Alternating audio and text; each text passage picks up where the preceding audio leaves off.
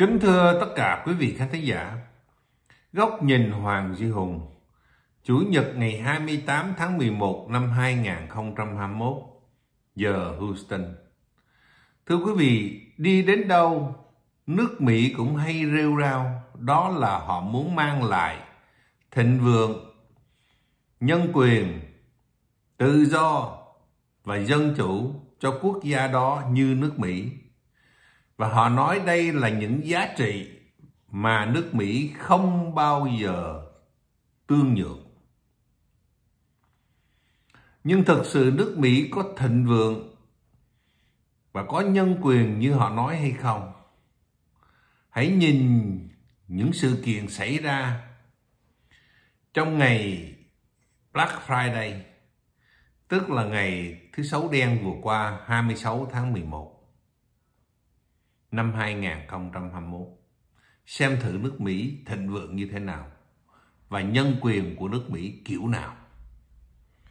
Thịnh vượng, nếu nói rằng tiểu bang mà giàu nhất nước Mỹ thì có lẽ là California. Những vùng như là San Francisco, rồi ờ, Los Angeles là những nơi được nổi tiếng là đông dân và giàu có. Thế thì à, trong ngày Black Friday đã diễn ra như thế nào ở những thành phố mà mệnh danh là giàu có nhất của Los Angeles. Việc đầu tiên á, là nói đến thủ phủ của Los Angeles là Sacramento.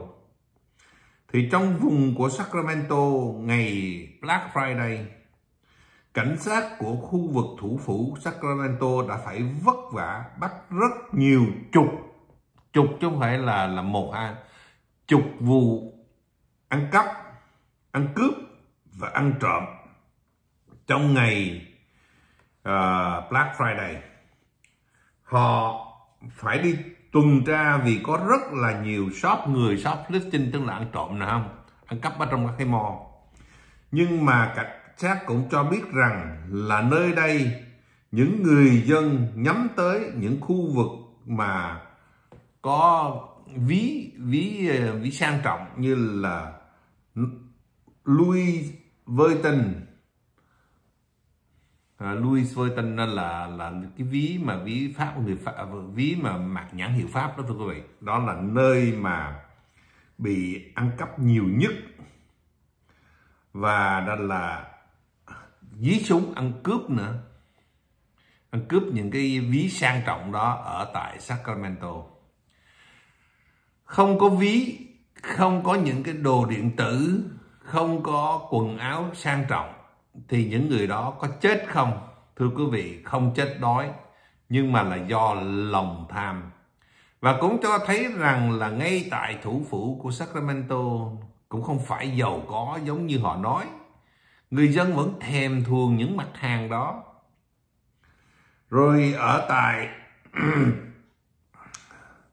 ở tại phía nam tức là Southern California, Los Angeles thì à, theo báo The New York Times thì không phải có một vụ đập phá ăn trộm tiếng Anh nó gọi là burglaries à, ăn trộm mà có rất nhiều vụ ăn trộm trong ngày thứ sáu đen vừa qua ở tại khu vực Nam California. Từ hôm tối thứ năm là đã có những kẻ đập uh, smash không? Smash là đập không? Đập rồi lấy lấy đi luôn, smash and grab. Lấy đi rất là nhiều ở dưới San Diego này và Los Angeles này đến độ đó mà cảnh sát của Los Angeles phải huy động toàn thể cảnh sát ở Los Angeles trong ngày thứ năm và thứ sáu Black Friday để đối phó với tình trạng ăn trộm, ăn cắp. Và có cả dí súng là ăn cướp nữa thưa quý vị đó là ở tại à, Los Angeles và theo tờ Los Angeles, California News Today thì những kẻ ở tại Los Angeles, họ dùng cái danh từ là looters, tức là những kẻ mà ăn à, đập phá đó không? Là ransack the home depot, tức là vào giật cướp bóc à, không, đập phá ở home depot và tiệm nó gọi là cái tiệm Bottega Veneta à. trong ngày Black Friday, họ đã tới Home Depot dầu rằng là luật và cảnh sát ở tại Los Angeles, gọi là đã đề phòng là có chuyện ăn cắp và ăn cướp không? robbery phải không thì những người đó họ vẫn tỉnh bơ họ tới, họ dùng cái danh từ là Home Depot robbery ăn cướp ở tại Home Depot. Home Depot không dám làm gì hết. Họ vô họ bê đồ ra. Các đồ uh, gia dụng rồi các cái gì vật dụng gì đó họ thấy là có giá tiền chút xíu là họ bê đi hết. À, mà cảnh sát thì cũng gần giống như bó tay. Đó là sự thịnh vượng của nước Mỹ đó thưa quý vị. À, và nhân quyền của nước Mỹ đó cảnh sát cũng không dám làm gì hết bó tay không. mà chuyện đó nó không phải xảy ra ở chỉ một vài nơi không? mà nó xảy ra hầu như cả toàn nước Mỹ trong ngày Black Friday ở tại Los Angeles là xảy ra nặng nhất xong đến ở tại San Francisco, rồi San Diego, rồi ở Sacramento là bốn thành phố lớn và là cũng là một thành phố thủ phủ của California đã phải là nạn nhân của nạn. Trộm, cắp, cướp, giật giật.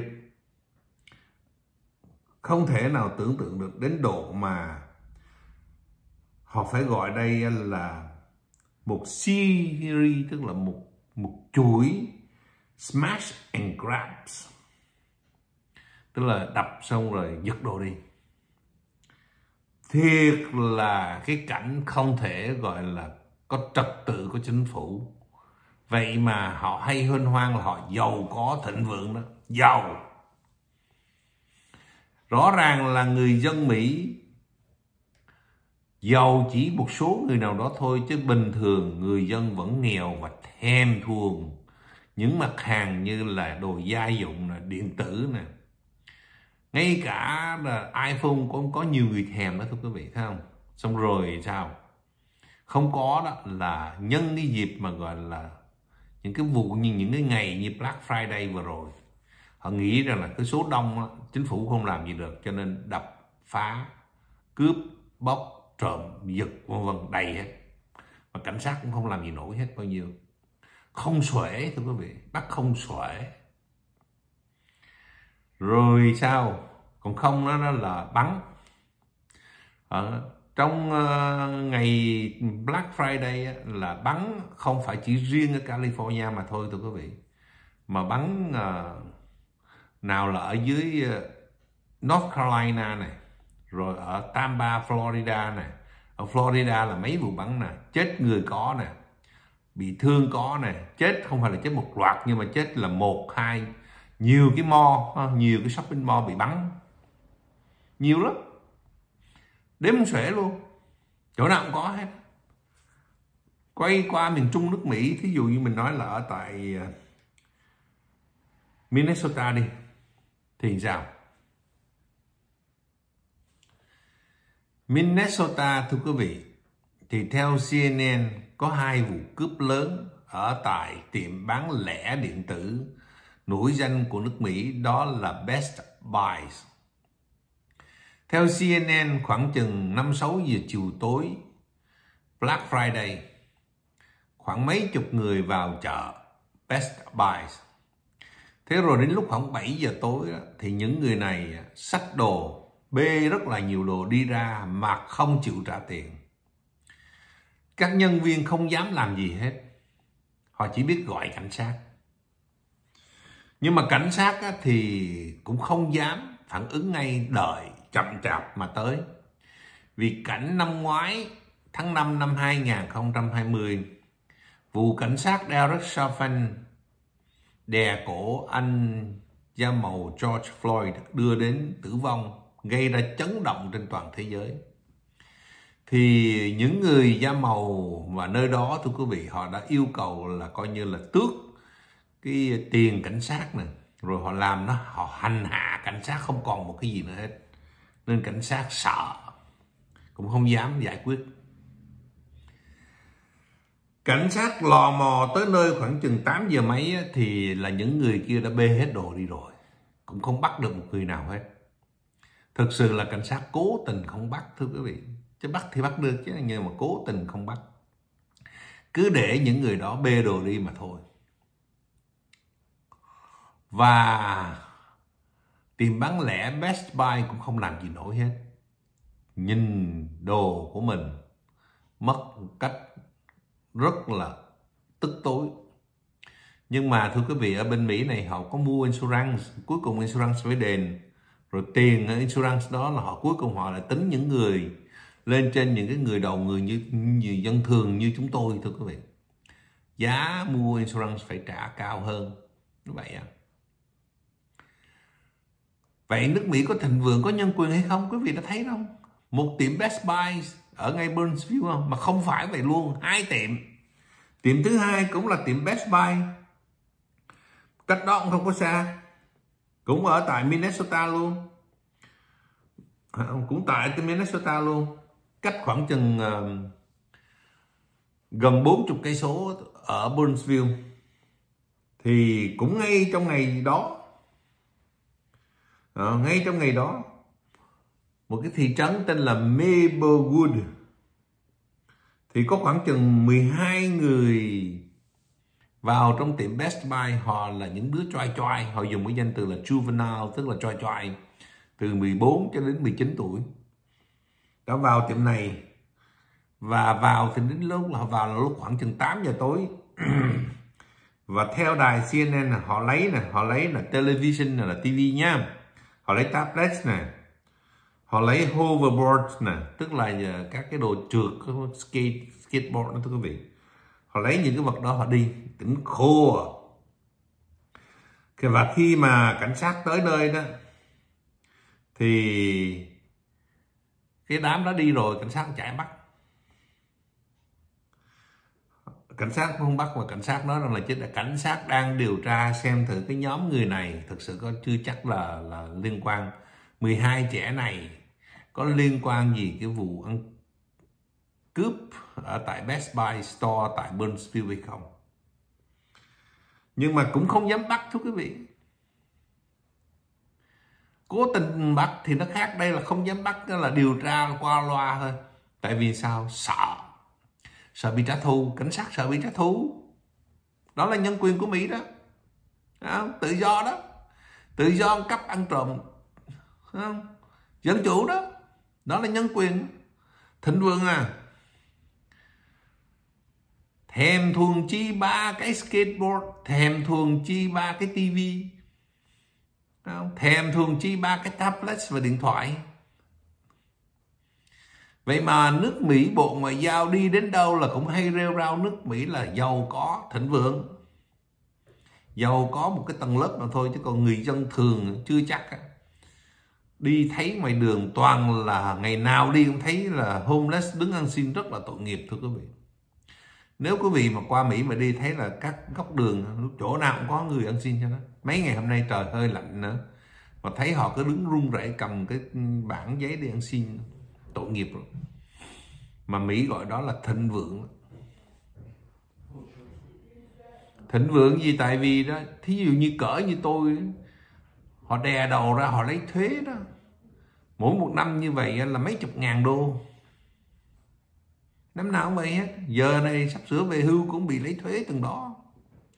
Mà không trả thuế nổi đó, thì cái nhà này họ bán đấu giá nhiều khi có thiếu thuế có vài trăm hoặc là hàng ngàn, hai ngàn họ bán họ đấu giá thì là mình ra ngoài đường luôn. Homeless. Thịnh vượng kiểu của Mỹ đó, thưa quý vị. Thịnh vượng kiểu của Mỹ đó. Và ngày Black Friday không phải chỉ một thành phố, hầu hết các thành phố lớn trên nước Mỹ, hay là những thành phố nào mà có yên bình một chút xíu là bị cái cảnh ăn trộm, ăn cắp, ăn cướp luôn dí súng nữa hãy xem qua bên phía miền đông của nước Mỹ đi. Florida đó, đó dí súng và bắn chết người ở trong mo rượt bắt. Không? Nhân viên security rượt bắt những kẻ đi ăn trộm á. Lúc đầu là đi ăn trộm nhưng mà có súng không? Thì quay lại bắn. Rồi cuối cùng sau đó là có người tử vong. Mà không phải là chỉ Florida, Florida là South Carolina là North Carolina này quý vị mà nghe cái bản tin trong ngày Black Friday của nước Mỹ tội phạm bằng kiểu này rất là nhiều. Nghe không xuể. Không phải một bản tin, cả hàng ngàn bản tin như vậy, ngao ngán tới tận cổ luôn. Ấy thế mà họ cứ rao, rêu ra là nước Mỹ giàu có, thịnh vượng, và người dân Mỹ sung sướng, có dân chủ tự do, nhân quyền. Nói chung mà nhìn bề ngoài, thì nước Mỹ có tài chính chính phủ Mỹ giàu là vì chính phủ Mỹ thu thuế rất là nặng. Nhiều người nói hồi xưa Pháp thu thuế người dân Việt Nam nặng. So sánh bây giờ Mỹ mà thu thuế với dân nó còn nặng gấp đôi gấp ba thưa quý vị. Vì xu thuế của Mỹ nặng lắm. Nào á, là liên bang thì rớt thuế của liên bang thuế lợi tức. Rồi tiểu bang trường học thành phố quận hạt. Quý vị mà xem một cái bill đó, nó không phải là chỉ có là một cơ sở để đánh thuế lên trên quý vị mà nó có cả hàng chục cơ sở đánh thuế lên trên quý vị. Đó là thuế bất động sản thì đã như vậy rồi nhé. Còn thuế của liên bang là thuế lợi tức không chạy được chạy à, mà nếu mà có chuyện gì đó là truy tố về tội hình sự là evading, tax evading, trốn thuế. Ở tù rất là nặng. Nên là những người dân Mỹ, thưa quý vị, họ tới mùa, tới tháng, họ tự động họ phải ý thức họ khai thuế và họ nộp thuế. Là vì nếu không là họ bị phạt rất là nặng. Phạt hình sự, còn không khéo nữa là mất tài sản. Đi ra ngoài đường mà ở kiểu đó mà ở bên Việt Nam mà áp dụng thì chắc là người dân ở Việt Nam nó làm loạn. Ở bên đây á, là hồi trước mà dân làm loạn kiểu đó nó là nó nó dùng dùi cui lựu đạn cây và ngay cả súng ống bắn hạ mà không ai dám lên tiếng. Mà đó là nhân quyền của Mỹ. Đó là sự thịnh vượng của Mỹ. Mỉa mai thay. Không cần nói chi xa. Nói ngay chính trong ngày Black Friday thì đủ thấy rồi cách đây không có lâu cách đây chỉ có hai hôm mà. Cách đây hai hôm mà. Bản tin ờ, là vô kể. Thí dụ như bản tin nói là ở tại chỉ là cái tiệm Walmart thường thường thôi. Walmart là cái chợ không? Ở Florida này. Là, là bắn nè bắn ở trong chợ nè không? Rồi ở tại Durham Mall nè ở Black Friday nè bắn mà gọi là bị thương tích trầm trọng, có thể là tử vong nè, phải đi vô bệnh viện nè. Rồi ở tại Washington State nè, bắn nè, bắn trong ngày Black Friday là một người bị thương nè. Rồi bản tin tiếp đó là hai người ở tại Walmart là bị bị bị bắt cái còng tay nè, vân vân. Đọc mà không phải một bản tin, thưa quý vị, nó thành ra tới một cái hàng ngàn bản tin kiểu như vậy trong ngày Black Friday của nước Mỹ thì nước Mỹ thực sự có thịnh vượng, có nhân quyền, có tự do và dân chủ theo kiểu như vậy mà họ đang rêu rao trên toàn thế giới hay không? Họ bán cái sản phẩm mặt hàng thịnh vượng và nhân quyền đó đó. Có phải thật sự có hay không? Còn nếu mà không làm theo ý Mỹ đó thì giống như tôi đã trình bày câu chuyện Tổng thống Joe Biden và nội các của ông không mời những quốc gia đó họp thượng đỉnh về dân chủ và nhân quyền. Họ không bao giờ dám đánh giá lại những gì đang xảy ra ở nước Mỹ này. Không phải xa xôi, không phải là cách đây gì mà gọi là là một năm, vài tháng trước đâu. Mà ngay ngày Black Friday chỉ có hai ngày trước thôi và lan lan sang ngày thứ bảy và chủ nhật ngày hôm nay vẫn có luôn họ có nói gì không? Họ nhắm mắt làm ngơ. Họ nhắm mắt làm ngơ. Thưa quý vị, đó là thông tin tôi xin gửi đến quý khán giả và góc nhìn của tôi về vấn đề này. Mà nước Mỹ hay rêu rao sự thịnh vượng, nhân quyền, tự do và dân chủ. Mà họ muốn gửi đến các quốc gia khác, trong khi đó nước của họ thì như thế. Thật là ngụy quân tử. Hypocrite ngụy quân tử. Chân thành cảm ơn tất cả quý vị đã theo dõi và xin hẹn gặp quý vị trong chương trình sau.